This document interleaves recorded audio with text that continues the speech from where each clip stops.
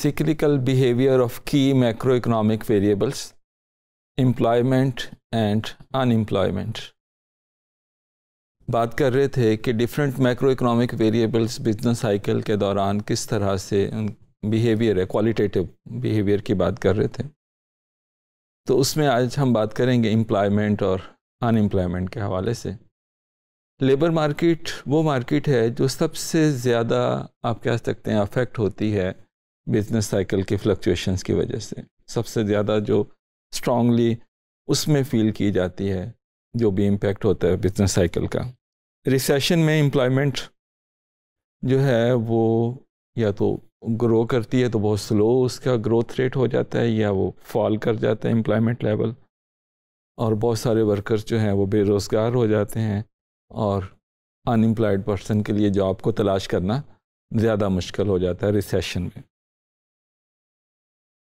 Employment जो है, ये वेरिएबल प्रोसिक्लिकल है, ठीक है? यानी जब एक्सपेंशन होती है इकोनॉमी में तो एम्प्लॉयमेंट में इजाफा हो जाता है और कंट्रैक्शन में उसमें कमी वाक़ हो जाती है। सो प्रोसिक्लिकल है more people have jobs in booms then in recession and this employment is also coincident यानी इसकी टाइमिंग जो है एम्प्लॉयमेंट की, वो वही है जो एग्रीगेट इकनॉमिक एक्टिविटी की। टर्निंग पॉइंट्स की टाइमिंग है।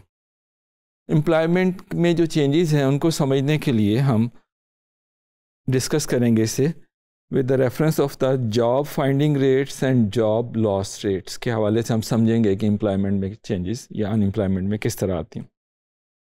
The probability that someone finds और a job in a given month changes over time क्योंकि बिज़नेस साइकिल के दौरान ये जो प्रॉबिलिटीज़ हैं कि किसी शख्स को जॉब मिलेगी नहीं या अपनी पहली जॉब से कोई शख्स हाथ धो बैठेगा तो ये ये प्रॉबिलिटीज़ जो हैं, ये चेंज होती हैं और इसका इम्पेक्ट होता है एम्प्लॉयमेंट और अनएम्प्लॉयमेंट पर।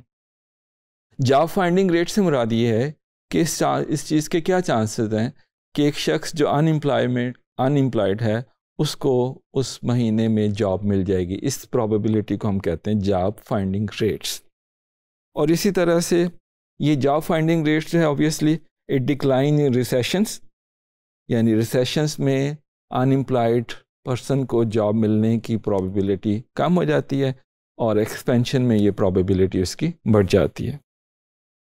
और जॉब लॉस रेट से मुराद ये है कि इस बात के क्या चांसेस हैं कि एक शख्स जो एम्प्लॉयड है उससे उस पर्टिकुलर टाइम पीरियड मंथ में वो बेरोज़गार हो जाएगा, अपनी जॉब को वो लूज़ कर देगा।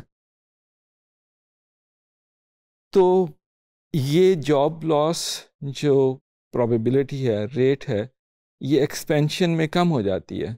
जब इकोनॉमी एक्सपेंड हो रही होती है तो उसमें चांसेस कम है कि एक शख्स जो ऑलरेडी काम कर रहा है, वो बेरोज़गार हो जाएगा। लेकिन रिसेशन में ये चांसेस जॉब लॉस के बढ़ जाते हैं। Okay so with the help of this empirical data हम इसको डिस्कस करते हैं। ये दो हमने पीरियड सेलेक्ट किए जून 2012 का ये एक्सपेंशन पीरियड है।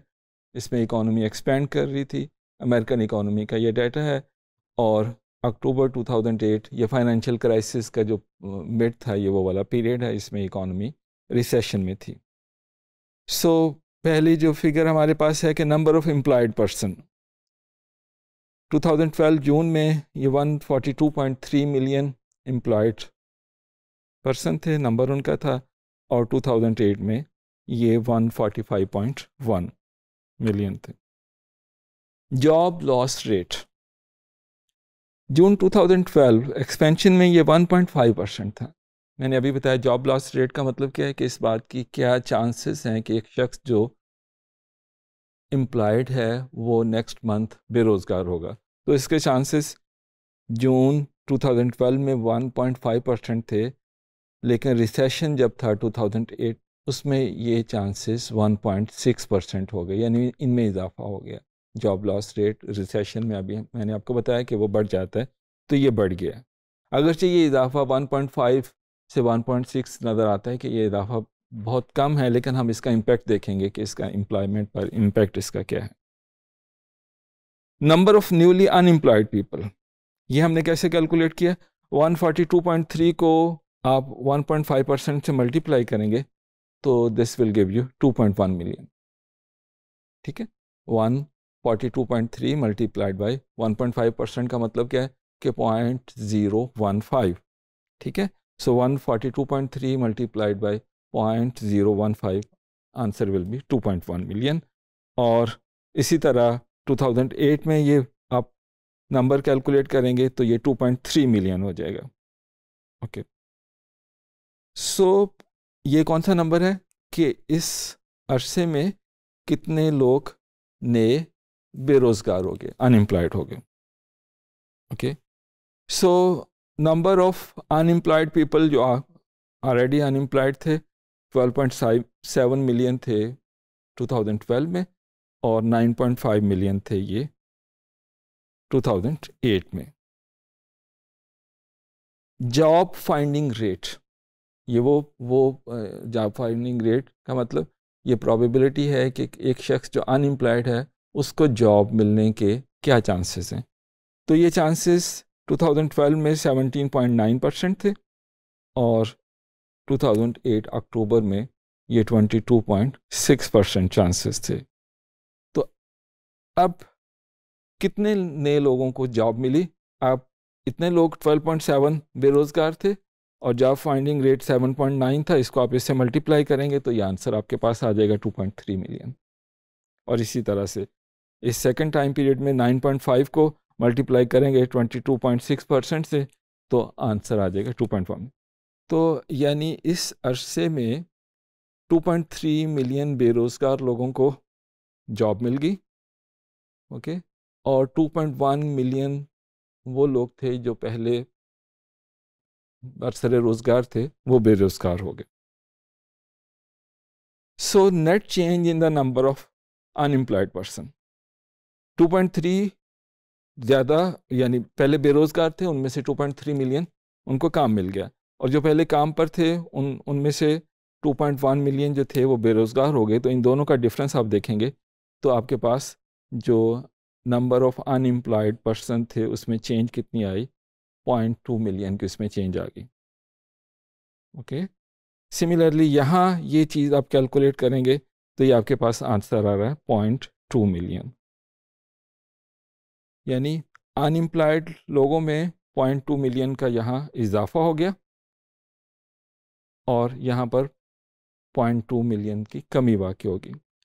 तो इसमें अगर आप इसको समझें कि जॉब लॉस रेट में इजाफा जस्ट बहुत अपेरेंटली हमें लग रहा है कि बहुत स्मॉल इजाफा है। 1.5 परसेंट से 1.6 परसेंट हुआ है। और जॉब फाइंडिंग रेट अगरचे बढ़ गया 17.9 से बढ़कर वो 22.6 हो गया, उसमें इजाफा हो गया। लेकिन जस्ट 1.5 का 1.6 हो जाने की वजह से बेरोज़गारी में, बेरोज़गार लोगों में इजाफा हो गया। वो 0.2 मिलियन का उसमें इजाफा हो गया। इसकी रीज़न क्या है? number one the example shows that small changes in the job loss rate मैंने बताया 1.5 से 1.6 very small change it may lead to a larger changes in the unemployment rate then larger changes in the job finding rate यानी उसका impact job loss rate का impact unemployment पर ज़्यादा है as compare to job finding rate इसकी reason क्या है reason ये है कि since job loss rate applies to many more people यानी ये 1.5 परसेंट जो जॉब लॉस हो रहा है, ये किस पर अप्लाई हो रहा है? ये 142.3 मिलियन लोगों पर अप्लाई हो रहा है ना? इनमें से कुछ लोग जॉब को लूज़ कर रहे हैं और इसी तरह से 145 में से कुछ लूज़ कर रहे हैं। जबकि जॉब मिलने वाला जो रेट है, वो किस पर अप्लाई हो रहा है? जो एम्प्लॉयड लोग थे, उन पर, जो अनएम्प्लॉयड लोग थे, उन पर। तो अनएम्प्लॉयड तो जस्ट 12.7 मिलियन थे। तो उनका 17 percent seventeen percent as compare to 1.5 obviously बड़ा नंबर है। लेकिन 1.5 आप अप्लाई कर रहे हैं 142 मिलियन पर और 17 या 18 परसेंट आप अप्लाई कर रहे हैं जस्ट 12 मिलियन पर, इसलिए उसका इम्पेक्ट अनएम्प्लॉयमेंट पर ज़्यादा होता है। ओके आई थिंक ये बात इससे हमें समझ आएगी कि जॉब फाइंडिंग रेट और जॉब जो लॉस रेट है, ये रिसेशन और बिज़नेस साइकिल में इनमें बहुत तेज़ी आती है और इन चेंजेस की वजह से एम्प्लॉयमेंट और अनएम्प्लॉयमेंट पर क्या इम्पैक्ट होता है? Thank you